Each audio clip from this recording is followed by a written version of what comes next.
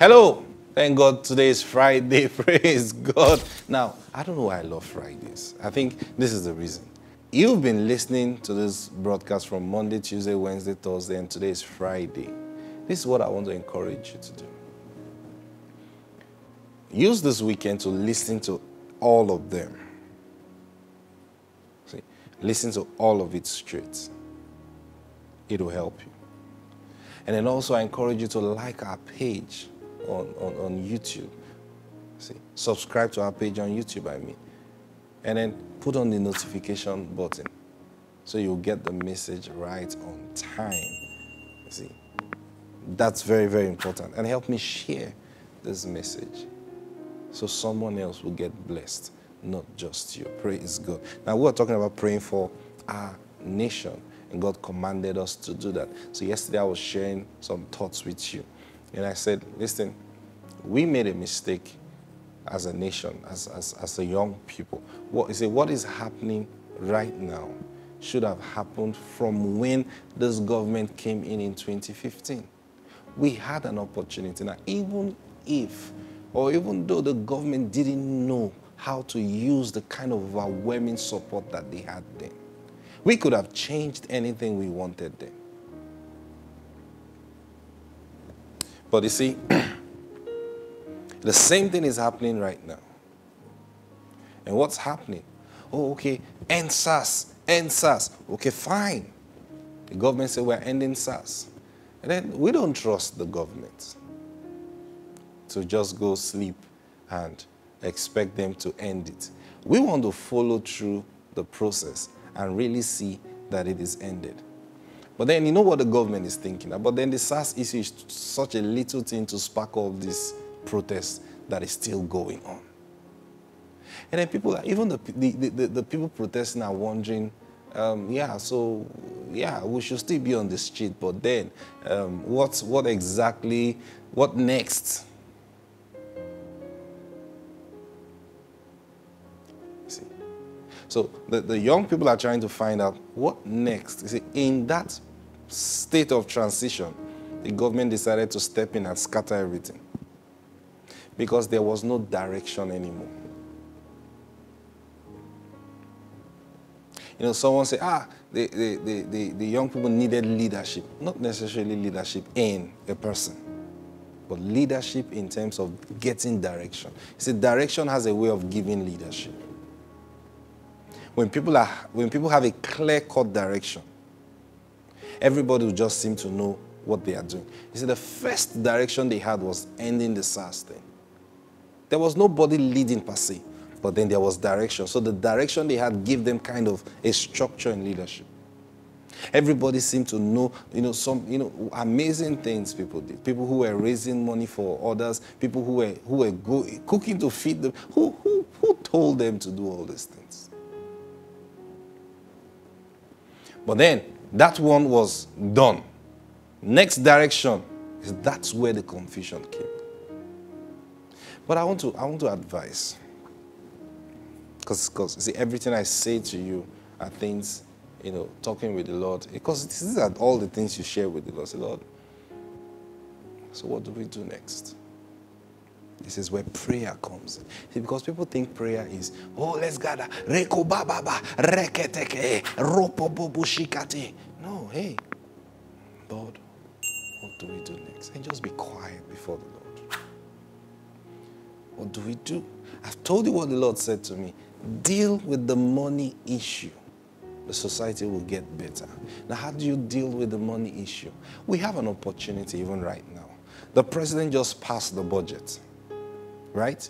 Is it not, not, not passed now? He just submitted the budget to the National Assembly. They are going to start deliberating on that budget. Now, that budget is what is going to control what money is spent for for the next year. Now, that is an area people should set their minds on. Now, what do you mean set your mind? Just watch and see what they are going to do. This is when the young people are to engage those in the National Assembly. And listen, we are going to monitor what is going on. What stops us from creating an app for monitoring? We have the knowledge, Someone creates an app for to monitor. See, listen, as they not wait until the budget is passed. You don't wait for the budget to be passed. You get involved in the deliberation. When, when every agency is going to defend their budget, we ask questions. So when they begin to say, um, I want to buy cutleries, and you ask them what happened to the cutleries last year. Did they expire? You find out, not, not, not on social media now. Yes, you create awareness on social media, but listen, the same way you put pressure on the government to come out to say, okay, you know what, we are disbanding SARS, and they eventually did, whether it's, it's smoke screen or really, they now they realize that we've got to respond to those people. It is easier to tackle the MDAs. It is easier to tackle the government agency. They are the ones that spend the money. It's easier to tackle them. Tackle them how? What are they, what is in their budget? What do they need to spend this money on? Then you begin to ask yourself, what is their procurement process? What is it? Then you want to know who's getting who, which contract. You want to see transparency in the system so that as young people you can apply for the same jobs and you know that it's going to be given to you. This is when to put the pressure on them monitor everything. You set up an app, oh, this ministry, this, this agency, they in their budget, and then you know when every money is released. Because the fact that it's in the budget doesn't mean to be done. The budget, first of all, it has given them the law. Secondly, is you find out what money is being released for. And that's where we put our eyes. Now, the moment you put your eyes in there, one thing that's going to happen, the money is going to begin to spread. That's number one. Number two, no one is going to be claiming I, I am the one, I handle this, so I, all the jobs, I'll collect it. So now you begin to make that job, you see, that job of I, I want to run into politics less lucrative. Many people run into politics today for just one simple reason how much money they have seen they can get in that place. So that's why you see people spend a lot. People take loan to run for an election. In hundreds of millions to run for an election. Why do you think they are doing that? Because they, they are passionate to serve you? No, sir. If they are passionate to serve you, they will go from house to house begging people, hey, support, let's bring your money, support me so that. But because they, they didn't get the money from you in the first place, and they paid a high price for that position. So it becomes a self serving thing. But how do we change that? I'm telling you how to change that. Put your eyes on the money. Put your eyes on the money. Look at, look at a government, look at an agency eh, eh, like CBN, for example. Why do we have different exchange rates? So it's so easy for someone who knows the CBN governor right now to collect dollars at the official rate and sell it at the black market. No monitoring, nothing, nothing is going to happen. Meanwhile, just travel to any African country. You walk into a shop, just a normal shop, you can change your dollars. And how do you know the rate? You take out your phone and you just check on your phone and see the rate, and they, you see that the rate they are giving is the same rate you see worldwide. I mean, it's on the internet. But not so with Nigeria. Nigeria, the rate you find on the internet is different from what is going on on the streets. Someone is making, is living fat on that. Is that not something we should put pressure? Deal with the money issue. The moment you deal with the money issue, the leadership issue will become balanced.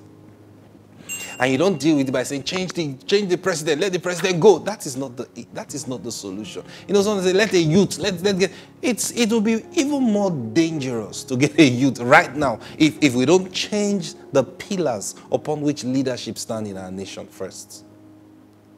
You think you will just change the roof and the house will be okay? No, sir. No, sir. The roof is standing on something. If you don't change what the roof is standing on, with a new roof, the house will still crumble. In fact, it will crumble faster because the new roof puts more weights now, fresh weights on the building. Focus on that thing that is holding the leadership. If you strengthen it, listen, let us get to that point that even if a teenager becomes our president, he cannot go wrong. I mean, when I, when I mean wrong, in, in, he cannot just go this far. Why? Because the structures are already strong and it's there to hold it. If you want to protest, that's where to look at. Right now, look at the House of Assemblies. Look at the State House of Assemblies. And don't just focus on the federal government. When last did you find out the budget of your state government? What do they spend money on? What do they do with education in your state? What do they do with employment in your state? Right now, they have known that the youth have a voice. But let's begin to give that voice a direction. Give that voice a direction. I have seen this, the Lord showed me this thing a few years ago. That it was an election season. And the people who were supposed to be contesting, they couldn't come out to contest. They were looking for people without any stain to contest that election. I've seen that. The Lord have shown me that already. We are headed there. But I'm adding my voice. This is the direction that is needed. And how do you get this? The church is supposed to be educating the people. Yeah. The church is supposed to educate the people to know where they should look at. Now, prayer, another thing prayer does is prayer gives influence. In the midst of a crop of bad people, prayer gives you boldness. As a righteous man, you can be in the midst of a mob and they're about to leech someone or they're about to, to carry out an evil act. But prayer brings about boldness that one man can stand up and say, Hey, we are not going to do this. Let us go in this direction. And the mob will say, Yes, sir. And then they follow. Now, that is the supernatural effect that prayer can carry. Why do you need that? We need that because majority of young people we have are uneducated. It's the same thing. That's why election. If we don't shift, and is another thing to work on is our electoral laws. If we don't shift the power to elect, if we don't shift it from just the voting. Because lots of people who vote, majority of them are illiterate. They don't even understand why they are voting. But they vote. So all those ones need is a mob action. Hey, this is the person we are voting for. Yes, so we'll go there and they vote. If you don't shift, if you don't make our laws to help the enlightened people vote more, we'll still be having these silly people in leadership. You say, silly people in leadership. Are you not the one that said God is the one that chooses leadership? I told you. He chooses leadership according to the people. Change the people. The kind of leadership they get will be changed. If the people are enlightened, say, but we have enlightened people, majority of the people in our nation, they are not enlightened. They are not enlightened. And funny enough, the enlightened ones mostly don't go out to vote. So let's let's concentrate. You see, now this is what this is what I'm saying is actually repentance. Let us bring repentance to ourselves first. when we bring repentance to ourselves, because even a lot of young people put them in the place of authority is what they are going to gain that they will think of first. And then the structures that is holding that place of authority is, uh, you know, I've heard, I've heard stories of people, innocent people. They, they, they were appointed as, as ministers or as, as a director of somewhere or something. And then someone walks up to them and says, sir, this is how they make money in this place. There is this account that the government is not aware of. We'll keep doing this and be turning this on, getting this on. Ah, this, this account has this amount of billions inside of it. Ah. Whoa. And then you want to go, no, that cannot work. That cannot work. We have to change. The next thing, they set a trap for you and you are thrown out of that place. How do you deal with such people? only by the wisdom. So prayer is very important. But when we pray, we must understand why we are praying. You're praying, one, a higher wisdom. You're praying, number two, the influence of God that brings boldness will rest upon men and especially on you. So that when you stand there, you will know what to say. You see, God knows what can touch every heart. He knows. He knows what can convince every heart. If not, if you're planning to go back on the streets, you're going to kill more people. Because this same mob are going to come against you. And more people are going to die for nothing. And the government will say, We told you not to come out. This is the direction the church needs. And the earlier we start doing it, the better. First of all, we need to repent in our hearts and submit our hearts to the Lord.